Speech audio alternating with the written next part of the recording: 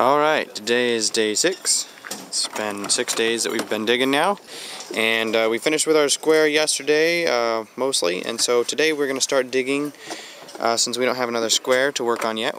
Uh, my square has been tasked with uh, digging up these ovens. These are called tabuns, and they were used to cook uh, flatbread back in the day. And they're interesting because they have this really red kind of soil that they're made out of. And you find a lot of pottery in there, so um, we want to know whether these tabuns date from the Hellenistic period, which we suspect, or uh, earlier or later. So here we've got another one that uh, Josh is excavating, and uh, that one's it was actually illegally excavated a little bit this uh, this last spring, and then here's another one over here that uh, Marcia is working on.